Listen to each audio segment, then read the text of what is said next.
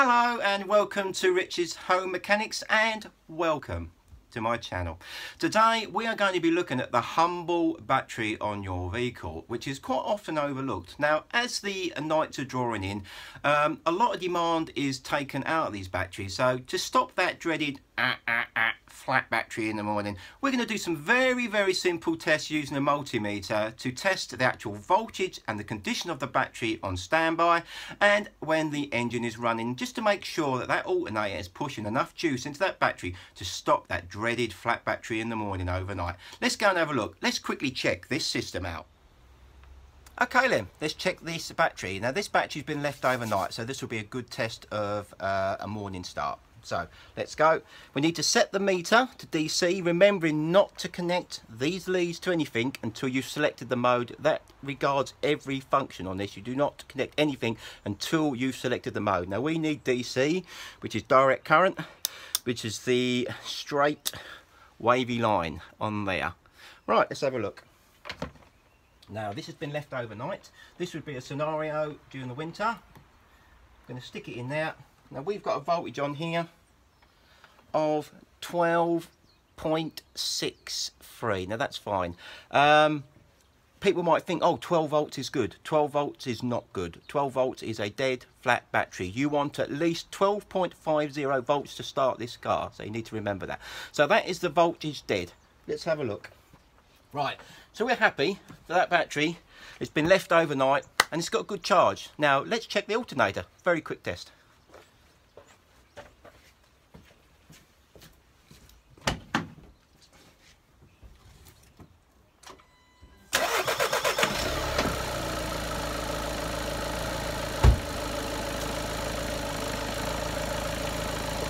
Okay, I'm going to put the meter back on. This is for the engine running and obviously it should be charging. Let's see what readings we're getting.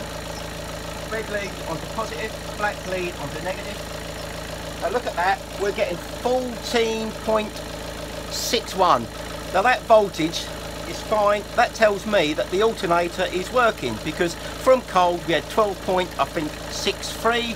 Now the engine is running we've got a reading of 14.64. So a very, very quick, simple test to show me that alternator is charging this battery. So what you're taking out of this battery is being topped up. Now the next test is to put your lights on.